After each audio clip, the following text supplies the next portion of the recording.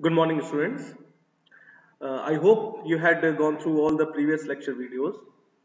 और uh, आज से हम लोग जो अपना चैप्टर स्टार्ट कर रहे हैं that is atoms and nuclei so in order to understand the atomic structure we have several theories related to the structure of atom जिसमें डाल्टन थ्योरी है आपके थॉमसन्स थ्योरी uh, है थॉमसन्स मॉडल है उसके बाद अल्फ़ा स्कैटरिंग एक्सपेरिमेंट परफॉर्म किया Rutherford ने, और रदरफोर्ड ने अपना एक एटॉमिक स्ट्रक्चर दिया। उस एटॉमिक स्ट्रक्चर में कुछ कमियाँ थी, जिसको बोहर ने अपने क्वांटाइज्ड ऑर्बिटल मॉडल से एक्सप्लेन किया। और बोहर के मॉडल्स की कमियों को बाद में विल्सन सोमरफील्ड ने अपने रिलेटिविस्टिक करेक्शन से ठीक किया इलिप्टिकल ऑर्बिट की कॉन्सेप्ट से ठीक किया। तो ये सब चीज़ें हमको इस चैप्टर में पढ़नी है। तो स्टार्ट करते हैं थॉमसन मॉडल से। तो थॉमसन का जो एटॉमिक मॉडल है that is Thomson plum pudding model it was the first atomic model actually proposed by the J J Thomson और इस एटॉमिक मॉडल में उन्होंने ये कहा था, आपको यहाँ पर एक फिगर दिख रही होगी, उन्होंने कुछ इसी टाइप का अपना स्ट्रक्चर जो है एटम से रिलेटेड दिया था। क्या था ये स्ट्रक्चर इस स्ट्रक्चर में उन्होंने ये कहा था कि किसी भी एटम में एटम जो है वो एक एक सॉलिड एक सॉलिड स्फेयर होगा, जिसका चार्ज पॉजिटिव है a solid positive sphere in which the electrons are embedded just like the seeds in a watermelon कि अगर आप किसी तरबूज को देखें तो तरबूज या जो वाटरमेलन है, उसका जो रेड पोर्शन है, वो सभी अगर आप एक पॉजिटिव एरिया एक पॉजिटिव चार्ज क्लाउड की तरह पॉजिटिव क्लाउड की तरह उसको ट्रीट करें तो जो ब्लैक सीड्स हैं, वो हमारे इलेक्ट्रॉन्स होंगे। तो इस तरह के स्ट्रक्चर को थॉमसन मॉडल कहा गया। थॉमसन ने अपना मॉडल दिया। इसको प्लम पुडिंग मॉडल भी कहते हैं स्ट्रक्चर वाटरमेलन स्ट्रक्चर मॉडल भी कहते हैं। इसको प्लम पुडिंग कहने की वजह यह है कि that pudding is a some kind of dish in in western countries और अगर उसको इंडियन कॉन्ट्रास्ट में हम अगर हम समझना चाहें तो आप समझ सकते हैं जैसे कोई यू नो हलवा या कोई खीर टाइप की डिश है ना? जिस तरह खीर में किशमिश, चिरौंजी यू नो डिफरेंट जो मेवा मटेरियल है, वो उस खीर के या हलवे के अंदर ही फिक्स्ड रहता है and the other whole portion was the basically dish is all about तो बिल्कुल वैसा ही थॉमसन का एटॉमिक मॉडल स्ट्रक्चर था। कि जो पूरा सॉलिड स्फेयर है that is a positive charge और उस पॉजिटिव चार्ज स्फेयर में इलेक्ट्रॉन्स अपनी जगह पर फिक्स्ड हैं, इस तरह का मॉडल उन्होंने दिया। लेकिन इस मॉडल में उन्होंने कुछ और बातें भी बताई। उन्होंने ये बताया कि total number of electrons total number of electrons उतने ही होंगे जितना टोटल पॉजिटिव चार्ज होगा। जितना टोटल पॉजिटिव चार्ज होगा। यानी इन्होंने अपने एटम में एटॉमिक न्यूट्रलिटी को एक्सप्लेन किया। एटॉमिक न्यूट्रलिटी या जिसे हम कहते हैं इलेक्ट्रिकल न्यूट्रलिटी एटम को इलेक्ट्रिकली न्यूट्रल इन्होंने बताया। इन्होंने कहा कि पॉजिटिव एरिया जितना होगा पॉजिटिव चार्ज जितना होगा, उतना ही total number of electrons constitute करके उतना ही नेगेटिव इलेक्ट्रॉन नेगेटिव चार्ज बनेगा। जिस वजह से जो हमारा एटम है वो थॉरोली देखा जाए तो इलेक्ट्रिकली न्यूट्रल होगा। तो एटॉमिक न्यूट्रलिटी को इलेक्ट्रिकल न्यूट्रलिटी को एक्सप्लेन करने में तो ये मॉडल सक्सेसफुल रहा। बट ये मॉडल फेल तब हो गया जब अल्फ़ा स्कैटरिंग एक्सपेरिमेंट रदरफोर्ड ने परफॉर्म किया। And it was really a very amazing fact that Rutherford was the fellow researcher of Thomson तो हम अब हम उसकी तरफ़ बढ़ते हैं रदरफोर्ड के अल्फ़ा स्कैटरिंग एक्सपेरिमेंट की तरफ़। सो थॉमसन मॉडल की अगर हम स्पेशलिटीज की बात करें, उसकी जो मेरिट्स की बात करें तो मेरिट तो यही है कि it was the first structural model of atom तो ज़ाहिर है, जब ये फ़र्स्ट था तो लोगों ने इसको बहुत एक एनर्जेटिकली चीज़ तरीके से इसको एक्सेप्ट भी किया। ये एटॉमिक न्यूट्रलिटी को एक्सप्लेन करने में सक्सेसफुल था, ये भी इसकी एक अच्छी बात थी। लेकिन ये फेल हो गया ये इलेक्ट्रॉन ट्रांजिशन को एक्सप्लेन नहीं कर पाए और अल्फ़ा स्कैटरिंग एक्सपेरिमेंट से जो फाइंडिंग्स मिली उन फाइंडिंग्स को एक्सप्लेन करने में ये मॉडल फेल रहा जिस वजह से इस मॉडल को बाद में एक, एक पुट डाउन कर दिया गया और रदरफोर्ड ने अपना मॉडल पेश किया। तो हम रदरफोर्ड के अल्फ़ा स्कैटरिंग एक्सपेरिमेंट की तरफ़ बढ़ते हैं ओके तो क्या था वो रदरफोर्ड एक्सपेरिमेंट तो रदरफोर्ड ने क्या किया? रदरफोर्ड का बड़ा सिंपल सा एक आइडिया था। उनका मानना यह था कि भाई मान, अगर जे जे थॉमसन का मॉडल सही है, कि ये जो पूरा स्फेयर है, ये एक पॉजिटिव चार्ज स्फेयर है, जिसमें इलेक्ट्रॉन्स किसी वाटरमेलन के सीड्स की तरह अपनी जगह पर फिक्स्ड है। है ना? अपनी जगह पर फिक्स्ड हैं। तो अगर हम किसी पॉजिटिव चार्ज मटेरियल किसी पॉजिटिव चार्ज पार्टिकल को इसके ऊपर फेंकें, है ना? किन्हीं पॉजिटिव चार्ज पार्टिकल्स को एटम के ऊपर अगर हम बॉम्बार्डेड करवाएँ, ये सभी पॉजिटिवली चार्ज है तो ये सभी रिफ्लेक्ट बैक होने चाहिए। ये सभी रिफ्लेक्ट बैक हो जाने चाहिए, है ना? बट जो एक्सपेरिमेंट हुआ, जो एक्सपेरिमेंट में जो फाइंडिंग्स आई, वो उनके एक्सपेक्टेशन के बिल्कुल ही ऑपोजिट थे। So Rutherford was the performing this experiment by assuming that J J Thomson was right तो जे जे थॉमसन के मॉडल को सच मानकर इस एक्सपेरिमेंट को सिर्फ़ उस मॉडल को चेक करने के लिए परफॉर्म किया गया, लेकिन अनफॉर्चुनेटली इसी एक्सपेरिमेंट ने जे जे थॉमसन के प्लम पुडिंग मॉडल को डिमोलिश भी किया। चलिए तो देखते हैं कि एक्सपेरिमेंट में हुआ क्या। ना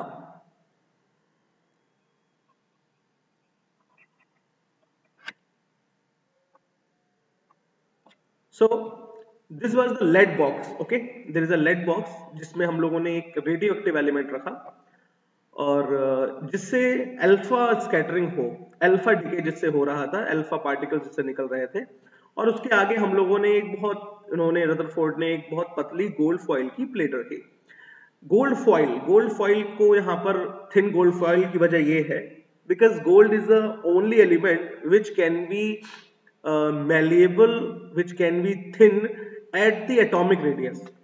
तो एटॉमिक रेडियस तक इसको थिन किया गया रदरफोर्ड के द्वारा। इसीलिए गोल्ड को चूज़ किया गया एंड एक जिंक सल्फाइड की स्क्रीन उसके आगे रखी गई। So when the alpha particles strike on the gold foil तो गोल्ड फॉइल से टकराने के बाद जो भी ट्रांस ट्रांसमिशन हुआ अल्फ़ा पार्टिकल्स का, वो स्क्रीन पर एक स्पॉट के रूप में हम लोगों को दिखा। तो ये एक्सपेरिमेंट का सेटअप था बेसिकली अब हुआ ये कि जैसे जैसे अल्फ़ा पार्टिकल जाते थे अलग अलग जगह पर हमें बीम मिल रही थी। कुछ बीम्स स्क्रीन पे मिल रही थी, पर बहुत ही कम अल्फ़ा पार्टिकल्स ही रिफ्लेक्ट बैक हो रहे थे। चाहे वो 90 डिग्री पर रिफ्लेक्ट बैक हो जाए या 180 पर या किसी और पर्टिकुलर एंगल पर। तो ये चीज़ जो थी वो रदरफोर्ड की एक्सपेक्टेशन के बिल्कुल अपोजिट थी। So suppose this is a gold atom और इसमें अगर पॉजिटिव चार्ज है तो most of the alpha particles actually cross हो गए। Most of the alpha particles transmitted through the gold foil और we can say a gold atom और बहुत कम अल्फ़ा पार्टिकल्स ही किसी पर्टिकुलर स्कैटरिंग एंगल पर रिफ्लेक्ट बैक हुए। तो अगर इसको हम ग्राफिकल मेथड से समझें तो they are very few number of बहुत ज़्यादा एंगल पर रिफ्लेक्ट होने वाले अल्फ़ा पार्टिकल्स की जो संख्या है, वो बहुत कम थी। और बहुत ज़्यादा पार्टिकल्स ऐसे थे जो ऑलमोस्ट ज़ीरो डिग्री या वन डिग्री पर ही रिफ्लेक्ट बैक हुए, यानी वो ऑलमोस्ट क्रॉस कर गए। गोल्ड फॉइल को ट्रांसमिट कर गए कुछ भी रिफ्लेक्ट बैक नहीं हुआ So this experiment was performed by Rutherford and then Rutherford gave his uh, atomic model on the basis of the findings of this uh, Rutherford alpha scattering experiment. So alpha particle is a nucleus of helium atom basically. So carrying a charge of plus 2e and the mass equal to 4 times of hydrogen atom, it travels with a speed nearly 10 to power 4 meter per second and is highly penetrating. तो ये specification use किया गया था Rutherford के द्वारा। Observation जो थी observation ये थी कि most of the alpha particles pass straight through the gold foil it means इसका कंक्लूजन क्या है? कि एटम का जो मोस्टली पार्ट है most of the part of the atom was empty और we can say a hollow okay second was some of the alpha particles were scattered by only a small angles and the order of few degree which means that alpha particles being positively charged and heavily compared to the electron could only be deflected by heavy and positive region in an atom तो इसका मतलब ये है कि atom में centre में कहीं कोई पॉजिटिव चार्ज कहीं कोई सेंटर में एक पॉजिटिव रीजन कोर रीजन ऐसा है जहाँ पर पॉजिटिवली चार्ज सारा स्टोर्ड है and that uh, region was uh, called as a nucleus. Now the third one is that a very few particles, few alpha particles like 1 in uh, 9000 or 10,000 were deflected through a large angle which means alpha particles which travel towards the nucleus directly get retarded due to the Coulomb's force of repulsion and ultimately comes to the rest then fly off in the opposite direction तो ये जो तीन important observation है, ये conclusion के base पर ही Rutherford ने अपना एटॉमिक स्ट्रक्चर दिया। So now we have to calculate the closest approach कि हमारा जो अल्फ़ा पार्टिकल था, वो एटम के इनसाइड या एटम में उसके सेंटर के पास कितनी क्लोजेस्ट अप्रोच तक पहुँच सका। तो उसके लिए हमको एक छोटा सा एक ये कैलकुलेशन है। Let suppose there is an atom having a positive core material inside it and when alpha particle strike on it it get reflects back. So suppose the closest range is r naught the closest approach is r naught so at this point or distance the kinetic energy of alpha particle is completely converted into electric potential energy of the system. So if half mu square is the energy then the potential energy will be 1 upon 4 pi epsilon naught 2 times ze square by r naught where z is the uh, atomic number of the atom. So R naught is 1 upon 4 pi epsilon naught 2 Ze square upon half mu square. Similarly, we can calculate the impact parameter also. If you are interested, तो आप इसका screenshot भी ले सकते हैं. Okay, you can take the screenshot in the middle of the video. You can take the screenshot. Okay so you can take the screenshot in the middle of the video so you can make easily your uh, notes properly. Now the impact parameter impact parameter means how much impact uh, is being recorded when the different alpha particles strike on a gold foil or a gold atom. So impact parameter is basically that angle b. The distance of that b which is reflected at if the angle theta so the perpendicular distance of the velocity vector of alpha particle from the center of nucleus when it is far from the nucleus is known as impact perimeter. So that is B equals to ZE square cot theta by 2 by 4 pi epsilon naught half m u square. So for a large value of B, cot theta by 2 is also large and theta, the scattering angle is small. So that is the alpha particle traveling far away from the nucleus suffer smaller deflection तो जितनी दूर से alpha particle निकलेगा centre के से उतना ही कम deflection होगा और जितना सेंटर के करीब से निकलेगा, उतना ही डिफ्लेक्शन ज़्यादा होगा। ये इंपैक्ट पैरामीटर का जो एक्सप्रेशन है, ये इस चीज़ को और कंक्रीटली स्टैब्लिश करता है कि एटम के सेंटर में ही एटम के एग्जैक्ट सेंटर में कहीं कुछ ऐसा पॉजिटिव कोर रीजन है जहाँ पर एटम का सारा पॉजिटिवली चार्ज सारा पॉजिटिव चार्ज कंसेंट्रेटेड है। So for b equal to zero that is alpha particles directed towards the centre of the nucleus will reflect back on the theta equals to 180 degree so this is all about the impact parameter so the alpha particles retrace their path now the composition of nucleus it will be discuss in the next session तो जो Rutherford के model की कुछ और findings भी थी उन findings को अब हम लोग इसमें जरा डिस्कस कर लेते हैं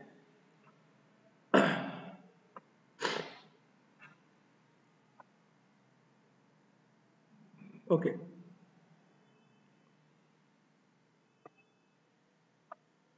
ना तो हुआ ये कि भाई एटम था और most of the alpha particles अलग अलग एंगल पे रिफ्लेक्ट बैक हो गए अलग अलग एंगल पर रिफ्लेक्ट बैक हो गए और बहुत कम ही थे जो रिफ्लेक्ट बैक हुए अलग अलग एंगल पे ट्रांसमिट हो गए स्कैटर्ड हुए। Most of the atoms most of the alpha particles scattered जिस वजह से हम लोगों ने ये एक आइडिया लगाया कि जो एटम है उसका most of the part hollow है सेंटर में ही न्यूक्लियस है और ये सारी चीज़ें। लेकिन इसके अलावा उन्होंने कुछ और चीज़ें भी बताई। हाइड्रोजन रदरफोर्ड ने एक ये भी अपने मॉडल में ये कहा, उसका अगर बेसिक हम सारे पॉस्टुलेट्स को ध्यान में देखें तो जो पहला पॉस्टुलेट है वो तो यही था that atom is basically a hollow okay atom is a hollow atom is hollow most of the part is hollow and at the centre at the centre nucleus is present centre पे nucleus होगा। And number two nucleus के चारों ओर positive nucleus के चारों ओर अलग अलग circular orbits में electrons होंगे, जो नेगेटिवली चार्ज होंगे। टोटल नंबर ऑफ़ इलेक्ट्रॉन्स उतने ही होंगे जितना टोटल पॉजिटिव चार्ज सेंटर पे होगा, यानी इलेक्ट्रिक न्यूट्रलिटी को। इलेक्ट्रिक न्यूट्रलिटी को रदरफोर्ड ने भी एक्सेप्ट किया। जे जे थॉम्सन का वो मॉडल इलेक्ट्रिकल न्यूट्रलिटी तक रदरफोर्ड ने भी इसको एक्सेप्ट किया that yes atom should be electrically neutral and the third one is that when electron moves around the nucleus they radiate some kind of energy they radiate some radiation और इसी point पर Rutherford का model जो है वो fail हो गया। Fail कैसे हो गया? It is also very interesting part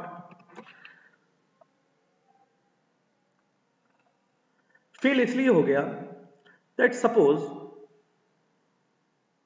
मान लीजिए, ये आपका न्यूक्लियस है और न्यूक्लियस के चारों ओर ये इस ऑर्बिट में कोई इलेक्ट्रॉन घूम रहा है।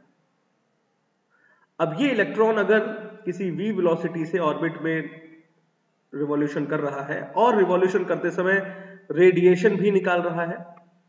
ये रेडिएशन दे रहा है।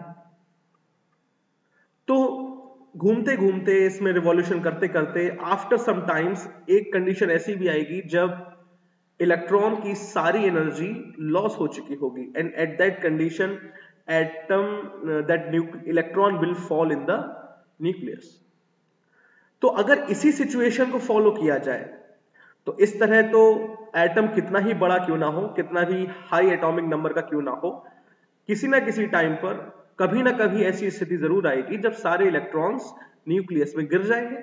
और उस स्थिति में जो एटम की स्टेबिलिटी है, जो एटॉमिक स्टेबिलिटी है, वो क्या हो जाएगी? Compromised so atomic stability will be compromised यानी एटम हमारा स्टेबल नहीं रहेगा।